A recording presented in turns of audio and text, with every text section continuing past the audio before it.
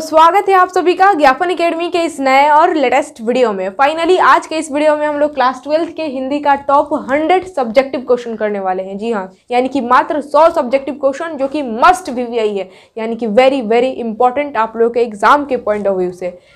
और इन top hundred subjective question में दो नंबर तीन नंबर और पाँच नंबर सभी तरह के क्वेश्चन शामिल हैं। और कौन कौन से क्वेश्चन आप लोगों के एग्ज़ाम में बार बार रिपीट होते हैं और किस किस तरह से क्वेश्चन आप लोगों के प्रीवियस ईयर में पूछे गए हैं और कौन कौन से क्वेश्चन इस बार आप लोगों का जो एग्ज़ाम होने वाला है, इसमें पूछे जाने की संभावना है। इन सभी बातों को ध्यान में रखते हुए मैं ये टॉप हंड्रेड सब्जेक्टिव क्वेश्चन तैयार की हूँ, क्योंकि आप लोग का बार बार कमेंट आ रहा था कि VVI must VVI subjective question करा दीजिए। तो मैं शांत कैसे बैठ सकती हूँ? आप लोगों को क्या लगा कि मैं चुपचाप हूँ? ऐसा बिल्कुल भी नहीं है। पीछे आप ही लोगों के लिए मेहनत चल रही थी। और फाइनली आज के इस वीडियो में चलिए स्टार्ट करते हैं। क्लास ट्वेल्थ का top hundred subjective question complete करते हैं।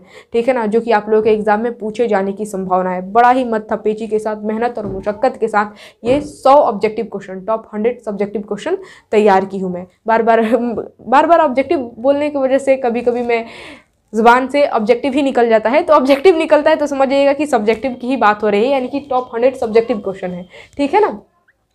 तो जैसा कि आप लोग देख सकते हैं, मैं बोर्ड पर सौ तो नहीं, क्योंकि एक बार में सौ सब्जेक्टिव क्वेश्चन बोर्ड पर कैसे लिखा जा सकता है? मतलब कि मात्र अभी ग्यारह लिखी हूँ सब्जेक्टिव क्वेश्चन और फिर बोर्ड में जाकर मैं आगे भी अगले क्वेश्चन को भी लिखूँगी। लेकिन आप लोग देख सकते हैं, बोर्ड पर मैं सिर्फ़ क्वेश्चन लिखी हूँ, आंसर नहीं लिखी हूँ। इसी वजह से नहीं लिखी हूँ, ताकि आप लोग क्वेश्चन का आंसर खुद से दे पाए, खुद से ढूँढने की कोशिश करें कि आखिर इस क्वेश्चन का आंसर क्या होगा। अब आप लोग कहेंगे, क्या मैम, आप इन सभी क्वेश्चन का आंसर नहीं देंगी? तो देखिए मैं तो सबसे पहले कहूँगी कि आप लोग इन सभी क्वेश्चन का आंसर खुद से दीजिए, खुद से ढूँढने की कोशिश कीजिए स्क्रीनशॉट लेकर रख लीजिए और बुक से हो सके मतलब आंसर ढूँढने की कोशिश कीजिए अगर नहीं मिल पा रहा है तो अगर आप लोग खुद से आंसर नहीं दे पा रहे हैं तो। लेकिन फिर भी नहीं आप लोगों को आंसर मिल पा रहा है, आप लोग को नहीं पता है तो फिर कोई दिक्कत नहीं है। मैं तो हूँ आप लोगों को आंसर बताने के लिए, लेकिन चलिए सबसे पहले आज के इस वीडियो को स्टार्ट करते हैं और ये सभी क्वेश्चन को देखते हैं कि कौन कौन से क्वेश्चन हैं जो कि टॉप हंड्रेड में शामिल है और जो कि मस्ट वीवीआई है, यानी कि वेरी वेरी इंपॉर्टेंट है आप लोगों के एग्ज़ाम के पॉइंट ऑफ़ व्यू से, जो अभी कुछ दिनों में होने वाला है। तो देखिए, सबसे पहला सवाल है कि बातचीत के संबंध में वेन जॉनसन और एडिसन के क्या क्या विचार हैं? यानी कि यहाँ पर क्वेश्चन पूछा जा रहा है। सबसे पहले चैप्टर से ही ये क्वेश्चन उठाई हूँ मैं कि बातचीत के संबंध में वेन जॉनसन और एडिसन के क्या विचार हैं, आप लोगों को बताना है। चैप्टर का नाम है बातचीत और उस चैप्टर में वेन जॉनसन और एडिशन के विचार बताए गए हैं, वही विचार को आपको बताना है। आप लोग खुद से सोचिए कि वो कौन कौन से विचार हैं वेन जॉनसन और एडिशन के। आप जानते हैं, वेन जॉनसन का विचार है कि जब तक आदमी बात नहीं करेगा, तब तक उसकी असलियत पता नहीं चलेगी। व्यक्ति की बातचीत से ही उसके गुण और दोष का पता चलता है। मतलब वो बात करेगा, तभी तो पता चलेगा कि उसमें कौन कौन सी क्वालिटी है विशेषता है और उसमें कौन सा दोष है। तो बातचीत के ज़रिए हम किसी व्यक्ति के गुण और दोष का पता लगा सकते हैं। ये वेन जॉनसन का कहना है। और एडिशन का जो विचार है, इनका विचार है कि बातचीत, जो असली बातचीत होती है ना, वो दो लोगों के बीच होती है। खुलकर अपने दिल की बात कहते हैं, वो होती है असली बातचीत, ठीक है? लेकिन अगर कोई तीसरा आदमी टपक पड़ा तो जो एक दूसरे से बात कर रहे थे, दिल की बात कर रहे थे, खुलकर बात कर रहे थे, ठीक है? तो अब वो बातचीत बंद हो जाती है मतलब कि अब बात को दूसरी तरह घुमा दिया जाता है। अगर कोई तीसरा आदमी टपक पड़ा तो ठीक है ना? यानी कि बात जो है ना, वो दूसरा मोड़ ले लेती है। धीरे धीरे बात को छुपाया जाने लगता है, ठीक है? तो ये एडिशन का विचार था। मनुष्य के बातचीत का उत्तम तरीका क्या हो सकता है? इसके द्वारा वह कैसे अपने लिए सर्वथा नवीन संसार की रचना कर सकता है? यानी कि यहाँ पर क्वेश्चन पूछा गया है कि मनुष्य के बातचीत का सबसे उत्तम तरीका, यानी कि सबसे अच्छा तरीका क्या हो सकता है? और उसके द्वारा वह कैसे अपने लिए सर्वथा नवीन, यानी कि हमेशा के लिए एक नया संसार की रचना कैसे कर सकता है, ये आप लोगों को बताना है। चैप्टर में आप लोगों का बताया ही गया है कि मनुष्य के बातचीत का उत्तम तरीका जो है ना, वो है खुद से बात करना, यानी कि आत्मवार्तालाप करना। ठीक है? खुद से बातचीत करना जो है ना, ये मनुष्य की बातचीत का उत्तम तरीका है। और इसके द्वारा जो है ना, जब खुद से व्यक्ति बात करेगा तो वो अपने से, यानी कि खुद से बात करने का उसको प्रैक्टिस हुआ रहेगा, यानी कि आदत हुई रहेगी मतलब एक नया संसार की रचना कर सकता है। तो इस हिसाब से आप लोगों को आंसर सजा कर लिखना है। आगे बढ़ते हैं। उसने कहा था चैप्टर का नाम क्या है? उसने कहा था, जो कि एक कहानी है। तो क्वेश्चन पूछा जा रहा है कि उसने कहा था, कहानी का केंद्रीय भाव क्या है? वर्णन करें। यानी कि इस कहानी का केंद्रीय भाव क्या है? आप लोगों को बताना है। और इसी कहानी में ना है कि तेरी कुड़माई हो गई क्या? तेरी कुड़माई हो गया, हो गई क्या? तो ये मैं पूरा एकदम ज़बरदस्त कहानी है। बहुत ही अच्छे ढंग से आप लोगों को पढ़ाई भी थी और इसका केंद्रीय भाव बताना है। आसानी से आप लोग बता सकते हैं। उसने कहा था, कहानी कितने भागों में बटी हुई है और कहानी के कितने भागों में युद्ध का वर्णन है, बताना है आप लोगों को। लहना सिंह का परिचय अपने शब्दों में दीजिए। लहना सिंह, आप जानते हैं? मेन कैरेक्टर है ये, मरकज़ी किरदार उर्दू में। मेन कैरेक्टर को उर्दू में क्या कहा जाता है? मरकज़ी किरदार है। तो उसने कहा था नाम के इस कहानी का मेन कैरेक्टर है लहना सिंह। तो उसका परिचय अपने शब्दों में लिखना है। अपने शब्दों में लफ्ज़ों को सजाकर, शब्दों को सजाकर आंसर लिख देना है। आगे बढ़ते हैं। प्रसंग एवं अभिप्राय बताएँ। यानी कि यहाँ पर एक पंक्ति दी गई है, आप देखिए। मृत्यु के कुछ समय पहले स्मृति बहुत साफ़ हो जाती है। जन्म भर की घटनाएँ एक एक करके सामने आती हैं। सारे दृश्यों के रंग साफ़ होते हैं। समय की धुंध बिल्कुल उन पर से हट जाती है। ये दो लाइन है और इसका आप लोगों को प्रसंग एवं अभिप्राय बताना है। आंदोलन के नेतृत्व के संबंध में जयप्रकाश नारायण के क्या विचार थे और वह आंदोलन का नेतृत्व किस शर्त पर करते हैं, ये आप लोगों को बताना है। क्वेश्चन नंबर सेवन क्या है कि आंदोलन के नेतृत्व जो संपूर्ण क्रांति हुई थी, उसके नेतृत्व के संबंध में जयप्रकाश नारायण के क्या विचार थे? विचार बताना है और वह आंदोलन का नेतृत्व किस शर्त पर करते हैं? ठीक है, यानी कि कौन से शर्त पर वो आंदोलन का नेतृत्व करने के लिए तैयार होते हैं, ये आप लोगों को बताना है। आगे बढ़ते हैं, बापू और नेहरू की किस विशेषता का उल्लेख जयप्रकाश नारायण ने अपने भाषण में किया है? कौन सी विशेषता, कौन सी क्वालिटी का उल्लेख जो है ना जयप्रकाश नारायण अपने भाषण में किए हैं, ये आप लोग को बताना है। बापू और नेहरू के बारे में, ठीक है? जयप्रकाश कम्युनिस्ट पार्टी में क्यों नहीं शामिल हुए, ये आप लोगों को बताना है। क्वेश्चन नंबर नाइन है कि जयप्रकाश नारायण जो है, वो कम्युनिस्ट पार्टी में क्यों नहीं शामिल हुए? और दसवां सवाल है कि नारी की पराधीनता कब से आरंभ हुई? नारी की पराधीनता कब से आरंभ हुई? आप लोग जानते हैं जब से जो है ना जो आप यूँ कह सकते हैं, पुरुष नारियों को घर में रखने लगे और खुद से, और खुद बाहर जाते थे, खेत वगैरह में काम करते थे। उसी वक्त से जो है ना, नारी की पराधीनता स्टार्ट हो गई, यानी कि आरंभ हो गई। तो इस तरह आप लोग लफ्ज़ों को सजा कर लिख सकते हैं, कोई दिक्कत नहीं, आप लोग को खुद से आंसर देना है। प्रवृत्ति और निवृत्ति मार्ग क्या है? प्रवृत्ति मार्ग में, मैं थोड़ा सा हिंट दे देती हूँ। प्रवृत्ति मार्ग में जो है ना, क्योंकि ये इंपॉर्टेंट क्वेश्चन है, पूछा गया है बहुत बार। प्रवृत्ति मार्ग और निवृत्ति मार्ग क्या है? देखिए, प्रवृत्ति मार्ग का मतलब होता है, प्रवृत्ति मार्ग वह मार्ग है जिसमें नारियों को एक्सेप्ट किया जाता है, स्त्रियों को एक्सेप्ट किया जाता है, गृहस्थ जीवन को स्वीकार किया जाता है। लेकिन निवृत्ति मार्ग जो है ना, ये गृहस्थ जीवन को अस्वीकार करने वाला मार्ग है, यानी कि अस्वीकार करने वाला रास्ता है। इसमें नारियों को स्वीकार नहीं किया जाता है। तो ले लीजिए फटाफट स्क्रीन शॉट अब आइए हम लोग आगे बढ़ते हैं। जैसा कि आप लोग देख सकते हैं, मैं फिर से पूरा बोर्ड भर कर लिख दी हूँ और काफ़ी मेहनत भी लगा है ये सारा क्वेश्चन लिखने में और इस बात पर लाइक तो बनता है। अभी तक आप लोगों ने वीडियो को लाइक नहीं किया है तो फिर इंतज़ार किस बात का है? फटाफट आप लोग लाइक कर दे वीडियो को और जितना ज़्यादा हो सके शेयर कर दे ताकि सभी लोग इस वीडियो का लाभ उठा सके। चलिए देखते हैं अगला क्वेश्चन क्वेश्चन नंबर ट्वेल्व है कि तीन बज गए, चार बज गए, ग्यारह बज गए। कहानी में घंटे की इन खड़कन के साथ साथ मालती की उपस्थिति है। घंटा बजने का मालती से क्या संबंध है ये आप लोगों को बताना है? चैप्टर का नाम क्या है? रोज। रोज नाम की एक कहानी में मालती जो मेन कैरेक्टर है, आप यूँ कह सकते हैं हीरोइन है एक्ट्रेस है तो इस कहानी में तीन बज गए, चार बज गए, ग्यारह बज गए, घंटे की खड़कन होती है, यानी कि घंटे की खड़कन दिखाई गई है कि टन टन बजती है ना तो तीन बज गए, चार बज गए, ग्यारह बज गए। इसके साथ साथ मालती की उपस्थिति भी है, यानी कि मालती भी कहती है, तीन बज गए, चार बज गए, ठीक है, ग्यारह बज गए। तो घंटे बजने के साथ साथ मालती का क्या संबंध है? मतलब घंटा जो बज रहा है, ये जो समय हो रहा है, तीन बज जा रहा है, चार बज रहा है तो उसका मालती से क्या संबंध है? क्या रिश्ता है? ये आप लोगों को बताना है। तेरह नंबर सवाल है कि गैंग्रीन क्या है? यानी कि गैंग्रीन क्या है, ये आप लोगों को लिखना है, शब्दों को सजाकर एकदम बेहतरीन ढंग से लिखना है आंसर। मैं नहीं बताऊँगी। गैंग्रीन जैसा कि इसमें बताने वाली क्या बात है? गैंग्रीन एक बीमारी है, ठीक है, जो कि किस चीज़ से होती है? कांटा चुभने की वजह से। वो आप लोग खुद से लिखेंगे, लफ्ज़ों को सजाकर, शब्दों को सजाकर, ठीक है? आगे बढ़ते हैं, क्वेश्चन नंबर फोर्टीन है कि दोपहर में उस सोने आँगन में पैर रखते ही मुझे ऐसा जान पड़ा, मानो उस पर किसी सांप की छाया मंडरा रही हो, या कैसी सांप की छाया है, वर्णन करना है, ठीक है? पंद्रह नंबर सवाल है कि भगत सिंह की विद्यार्थियों से क्या क्या अपेक्षाएँ हैं? यानी कि भगत सिंह अपने विद्यार्थियों से कौन कौन सी अपेक्षाएँ रखते हैं, वो आप लोगों को लिखना है। एकदम अच्छे तरीके से सब शब्दों को सजाकर। ठीक है? क्वेश्चन नंबर सिक्सटीन है कि भगत सिंह ने अपने फांसी के लिए किस समय की इच्छा व्यक्त की और क्यों? मतलब कि भगत सिंह ने अपने फांसी के लिए कौन से समय की इच्छा व्यक्त किए थे और वो समय उन्होंने क्यों चुना?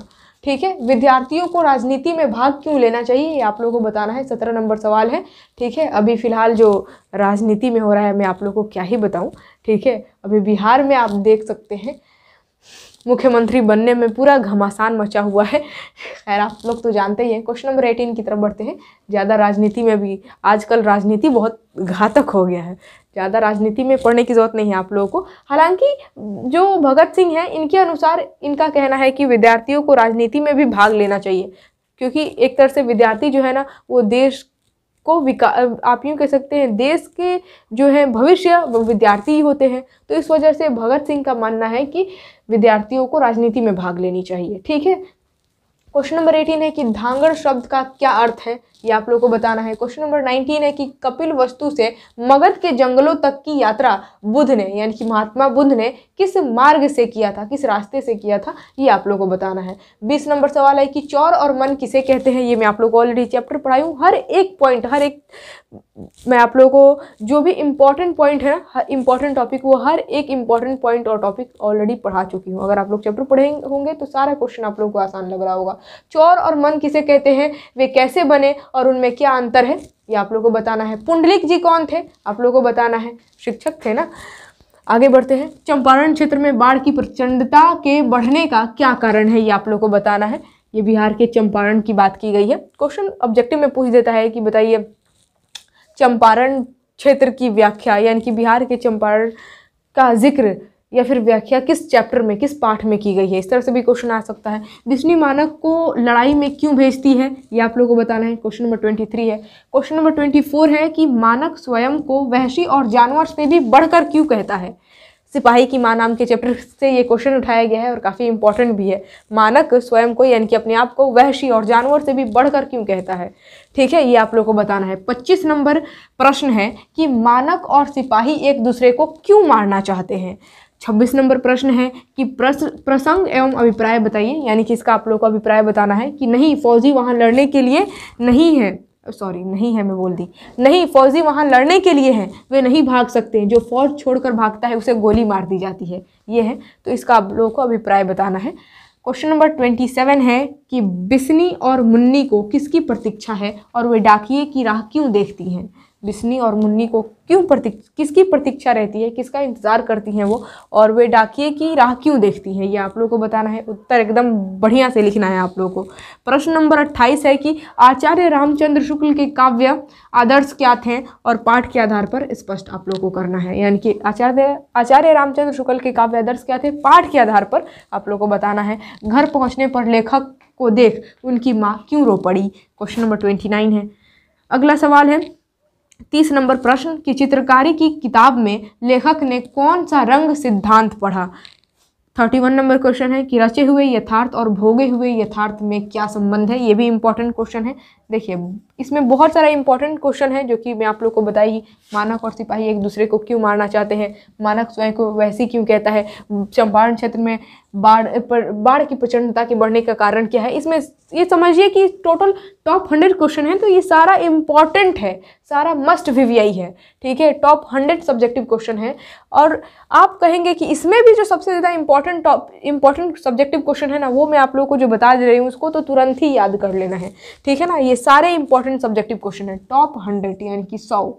ठीक है? इसमें आप लोगों को ये नहीं सोचना है कि ये इंपॉर्टेंट नहीं होगा, ये इंपॉर्टेंट नहीं होगा, सारा इंपॉर्टेंट है। ठीक है? क्वेश्चन नंबर थर्टी टू है कि धरती का क्षण से क्या आशय है? ये आप लोग को बताना है। और तैंतीस नंबर प्रश्न है कि डायरी क्या है? ये हो गया तैंतीस नंबर प्रश्न तक। आप लोगों को मैं बता दी। अब आगे बढ़ते हैं। अगला सवाल मैं फिर से लिख दी हूँ। बोर्ड को मिटाकर काफ़ी मेहनत भी लग रहा है लिखने में और इस मेहनत पर आप लोग लाइक ना करें तो बहुत दुख भी होता है। लेकिन कोई दिक्कत नहीं है। आप लोग अंत तक देखिए वीडियो को और हर एक क्वेश्चन को कम से कम समझ लीजिए कि हाँ ये ये क्वेश्चन है जो कि टॉप हंड्रेड में शामिल है। ठीक है? चलिए मैं बोर्ड को मिटाती हूँ। अगर आप लोग यहाँ तक स्क्रीन लेना चाहते हैं तो कोई दिक्कत नहीं है। लीजिए फटाफट स्क्रीन शॉट। अब आइए हम लोग आगे बढ़ते हैं अगले क्वेश्चन की तरफ़। देखिए, हमें पता है कि आप लोग क्या सोच रहे होंगे। आप लोग यही सोच रहे होंगे कि मैम सिर्फ़ क्वेश्चन पढ़ रही हैं, उसको समझा दे रही हैं और कुछ कुछ क्वेश्चन का आंसर बता दे रही है। मतलब आप, मैम, इसका आंसर देंगे कि नहीं? आप लोगों के मन में यही सवाल उठ रहा होगा। तो देखिए, हम आपसे कहना चाहते हैं कि आप लोग थोड़ा धैर्य रखिए। आप लोग को मैं बताऊँगी कि कैसे इसका आंसर मिलेगा। जी हाँ इन सभी क्वेश्चन का आंसर मैं आप लोग को दूँगी। लेकिन किस तरह, कहाँ से, वो आप लोगों को मैं वीडियो में आगे बताऊँगी और इसी वजह से आप लोग वीडियो को स्टार्टिंग से लेकर अंत तक बिना स्किप किए देखिए, क्योंकि मैं वीडियो में कहीं पर भी बता सकती हूँ। हो सकता है कि जहाँ पर आप लोग स्किप करें, वहीं पर मैं बताई हूँ कि इसका आंसर कहाँ मिला, कहाँ मिलेगा। तो इसी वजह से आप लोग स्टार्टिंग से अंत तक बिना स्किप किए वीडियो को देखना है। सबसे पहले सारे क्वेश्चन को समझना है, ठीक है ना? देखिए क्वेश्चन नंबर थर्टी फोर है कि तिरिच को जलाने गए लेखक को पूरा जंगल परिचित लगता है क्यों? तिरिच को जलाने के लिए जाते हैं लेखक तो उनको पूरा जंगल परिचित लगता है क्यों? ऐसा क्यों? क्योंकि लेखक जो है ना, वो सपने में, उस जंगल में ज़्यादातर भागते हुए मतलब सपना देखा करते हैं तिरस से बचने के लिए, उसके बाद से उनको हाथी दौड़ाती है। तो सपने में वो जंगल देखे रहते हैं और जंगल का चप्पा चप्पा आप मतलब जंगल के हर एक कोने से वो परिचित रहते हैं, हर एक पेड़ पौधे से परिचित रहते हैं। इस वजह से जो है ना तिरिच को, जलाने गए लेखक को, पूरा जंगल जो है, वो परिचित लगता है। ठीक है? आगे बढ़ते हैं। क्वेश्चन नंबर थर्टी फाइव है कि तिरिच क्या है? कहानी में यह किसका प्रतीक है? पूरा चैप्टर में आप लोग को पढ़ाई हूँ, आप लोग खुद से बनाएँगे। क्वेश्चन नंबर थर्टी सिक्स है कि शिक्षा का क्या अर्थ है एवं इसके क्या कार्य हैं? स्पष्ट कीजिए। शिक्षा का क्या अर्थ है और इसके क्या क्या क्या कार्य है, क्या महत्व है ये आप लोग को बता देना है। क्वेश्चन नंबर थर्टी सेवन है कि जहाँ भय है, वहाँ मेधा नहीं हो सकता। है क्यों? जहाँ भय है, वहाँ मेधा नहीं हो सकती है क्यों? क्वेश्चन नंबर थर्टी एट है कि रकत के लेई का क्या अर्थ है? रकत के लेई का मतलब आप लोगों को बताना है। क्वेश्चन नंबर थर्टी नाइन है कि कवि अपनी एक आँख की तुलना दर्पण से क्यों की है? मोहम्मद यही कवि जोरी सुनावा। यहाँ कवि ने जोरी शब्द का प्रयोग किस अर्थ में किया है? मोहम्मद यही कवि जोरी सुनावा। इसमें ये जो जोरी शब्द का यूज़ किया गया है। इस जोरी शब्द का यूज़ किस अर्थ में किया गया है? क्वेश्चन नंबर फोर्टीन फोर्टी यानी कि चालीसवा क्वेश्चन है। क्वेश्चन नंबर फोर्टी वन है कि गाय किस ओर दौड़ पड़ी? आप लोग जानते हैं। क्वेश्चन नंबर फोर्टी टू है कि दूसरे पद तुलसी ने दीनता और दूसरे पद में यहाँ पर पद में रहेगा। दूसरे पद में तुलसी ने दूसरी पद, दूसरे पद में तुलसी ने दीनता और दरिद्रता दोनों का प्रयोग क्यों किया? क्वेश्चन नंबर थर्टी फोर है कि तुलसी को किस वस्तु की भूख है? किस चीज़ की भूख है तुलसीदास को? क्वेश्चन नंबर फोर्टी फोर प्रश्न नंबर चौवालीस है कि पठित पदों के आधार पर तुलसी की भक्ति भावना का परिचय देना है।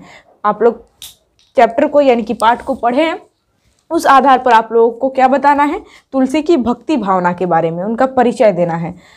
प्रश्न नंबर फोर्टी फाइव कि तुलसी सीता से कैसी सहायता मांगते हैं?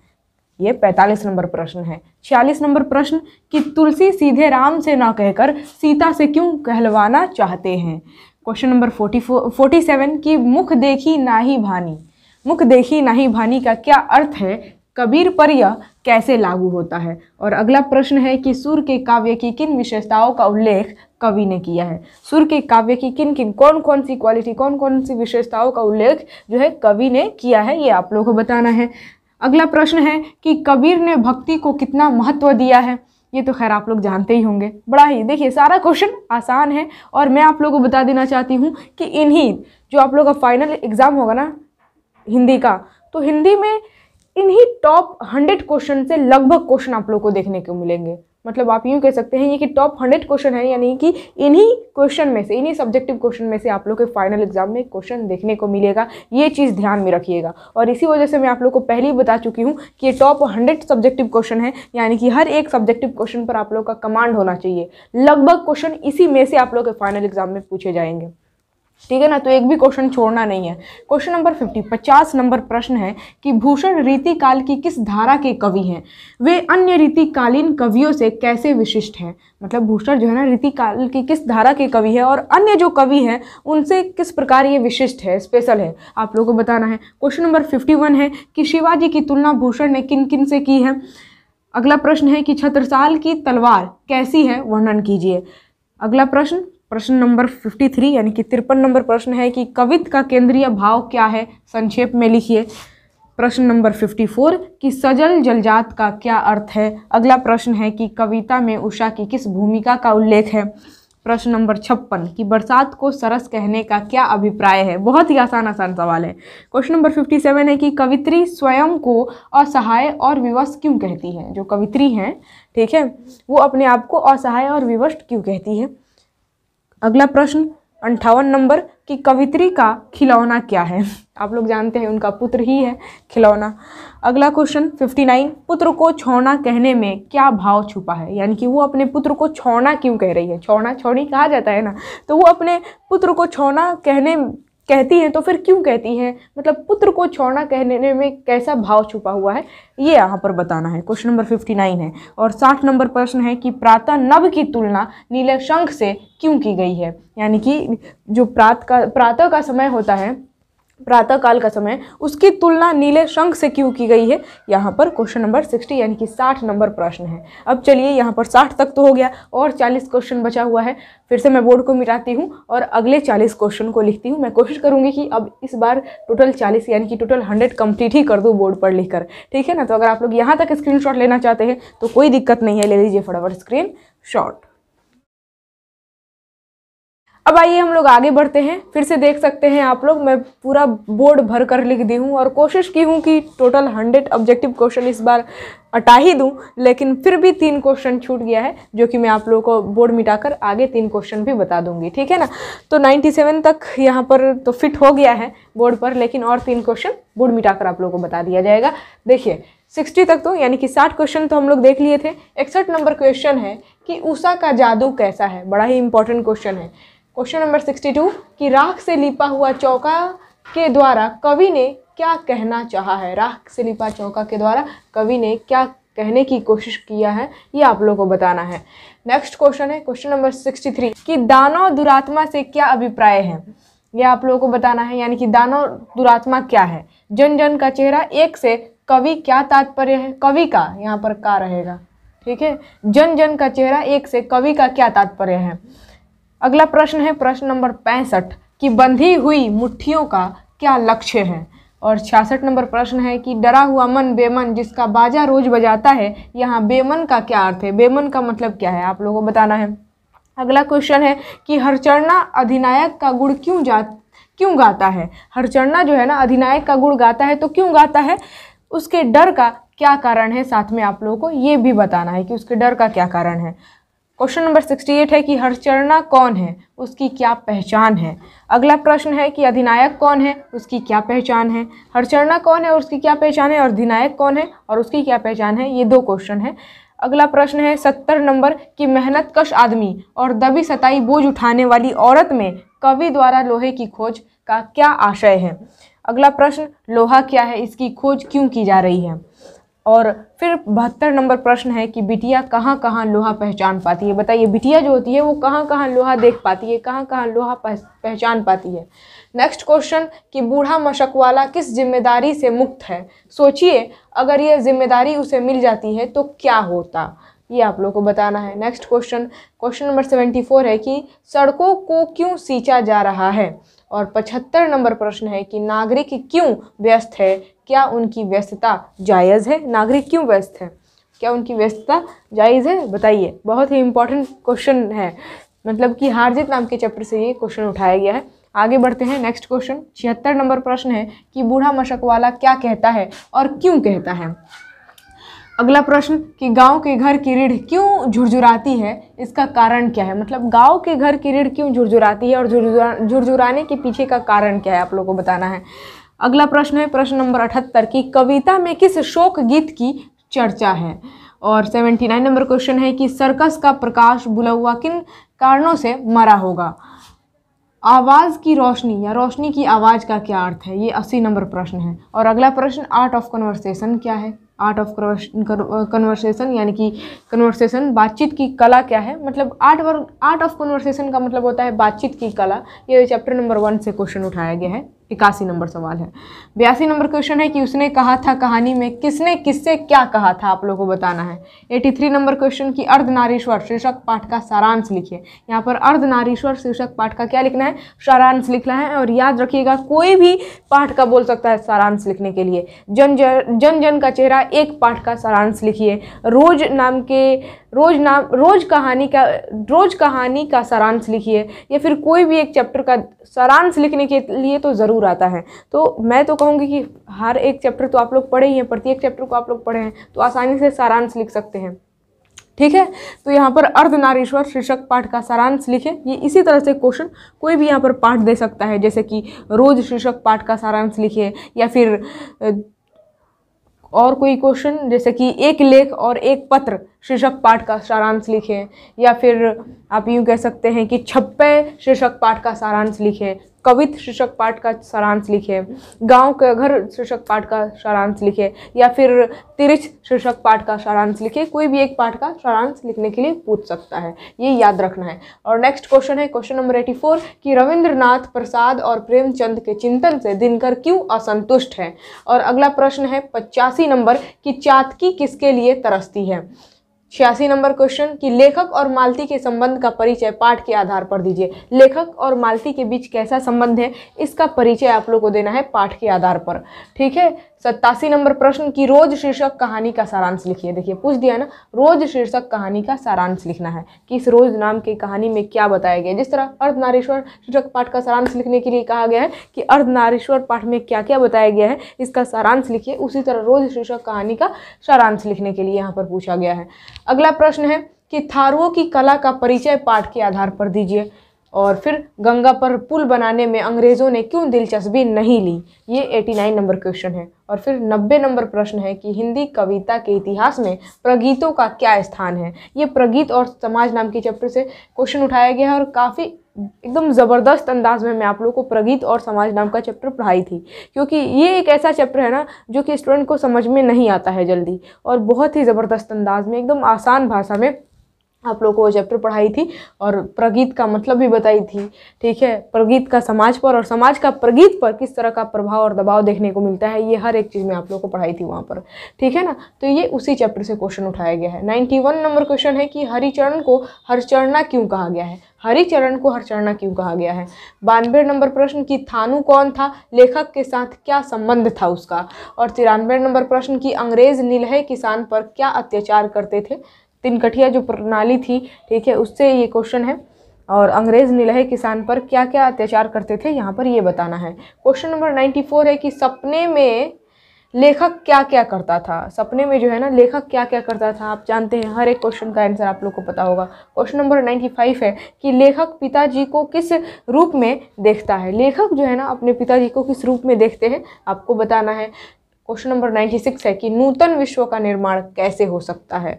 और 97 नंबर प्रश्न है कि तुलसी के हृदय में किसका डर था? तुलसी के हृदय में, उनके दिल में किस चीज़ का डर था? आपको बताना है। तो यहाँ पर 97 क्वेश्चन तो कंप्लीट हो गया और मात्र तीन क्वेश्चन बचा हुआ है। तो चलिए फटाफट मैं बोर्ड को मिटाती हूँ और जो बचा हुआ तीन क्वेश्चन है उसको लिखकर और टॉप हंड्रेड क्वेश्चन हम लोग कंप्लीट करते हैं। अगर आप लोग यहाँ तक स्क्रीन लेना चाहते हैं तो कोई दिक्कत नहीं है, ले लीजिए फटाफट स्क्रीन अब देखिए, मात्र तीन क्वेश्चन को मैं लिख दी हूँ बोर्ड पर। चलिए समझ लेते हैं, ये तीनों क्वेश्चन कौन है? क्वेश्चन नंबर 98 है कि माँ के लिए अपने मन को समझाना कब कठिन है और क्यों?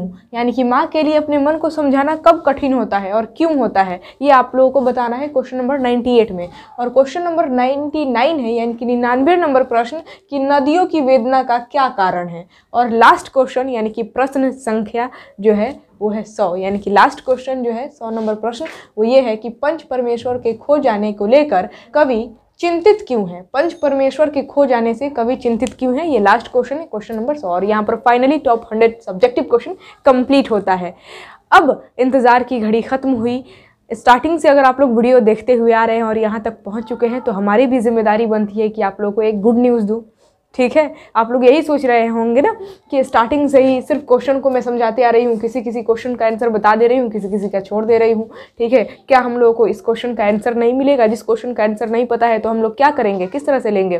तो चलिए, अब गुड न्यूज़ देने का समय आ गया है। अगर आप लोग स्टार्टिंग से देखते हुए यहाँ तक पहुँच चुके हैं तो गुड न्यूज़ ये है आप सभी लोगों के लिए कि इन सभी टॉप हंड्रेड सब्जेक्टिव क्वेश्चन का आंसर आप लोग को फ्री में दे दिया जाएगा। किस तरह से दिया जाएगा? कहाँ से आप लोग डाउनलोड करेंगे? कहाँ मिलेगा? तो ये भी बता दे रही हूँ।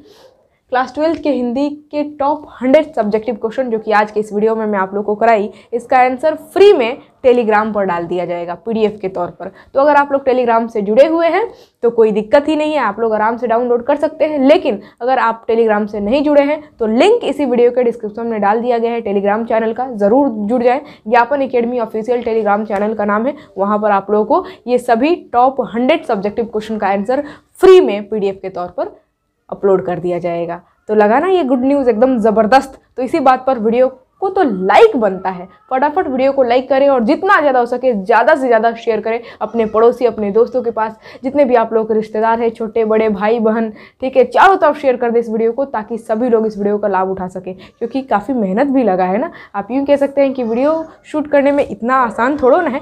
हर एक सब्जेक्टिव क्वेश्चन को सबसे पहले तो क्वेश्चन तैयार करना सबसे मेहनत और मुशक्क़त वाला काम है। ठीक है ना? हर एक क्वेश्चन अब देखिए टॉप हंड्रेड ये सब्जेक्टिव क्वेश्चन है ना। ये टॉप हंड्रेड क्वेश्चन तैयार करने में काफ़ी मेहनत लगा है। सबसे पहले तो देखना कि कौन कौन से क्वेश्चन आप लोग के एग्ज़ाम में बार बार रिपीट होते हैं और किस तरह का लेवल है क्वेश्चन पूछने का आप लोग के पिछले साल का और अभी जो फाइनल एग्ज़ाम आप लोग का होने वाला है कुछ दिनों में, इसमें किस तरह के क्वेश्चन पूछे जा सकते हैं कौन कौन से क्वेश्चन पूछे जाने की संभावना है, इन सभी बातों को ध्यान में रखते हुए ये टॉप हंड्रेड सब्जेक्टिव क्वेश्चन तैयार किया गया है। तो सोचिए, इतना आसान काम थोड़ो ना है सब्जेक्टिव क्वेश्चन तैयार करना। ऐसे, कैसे मैं कोई भी क्वेश्चन थोड़ो ना करा देती हूँ। ये टॉप हंड्रेड सब्जेक्टिव क्वेश्चन है। यानी कि आप लोग के फाइनल एग्ज़ाम में जो हिंदी का क्वेश्चन देखने को मिलेगा ना, लगभग इन्हीं टॉप हंड्रेड सब्जेक्टिव क्वेश्चन में से देखने को मिलेगा। तो चलिए, आज के इस वीडियो को यहीं पर एंड करते हैं। आई होप आप लोगों को आज का ये वीडियो बहुत ही ज़बरदस्त लगा होगा। लाइक शेयर आई होप आप लोग कर भी दिए होंगे। अगर आप लोग इन तीनों क्वेश्चन का स्क्रीन लेना चाहते हैं तो कोई दिक्कत नहीं है, ले सकते हैं। बस मात्र ये तीन ही क्वेश्चन तो है। ठीक है? चैनल पर अगर आप लोग नए नए आए हुए हैं, मेरे वीडियो को पहली बार देख रहे हैं तो चैनल को सब्सक्राइब करके नोटिफिकेशन बेल ज़रूर ऑन कर लीजिएगा, ताकि जब भी भी वीडियो अपलोड हो या फिर लाइव क्लास हो नोटिफिकेशन आप तक सबसे पहले पहुँचे। तो चलिए, आज के इस वीडियो को यहीं पर एंड करते हैं। इसी के साथ मैं आप सभी लोगों से विदा लेती हूँ। बाय बाय टेक केयर फिर मिलेंगे हम लोग अगले वीडियो में, अगले टॉपिक के साथ। तब तक के लिए जय हिंद और खुदा हाफिज़।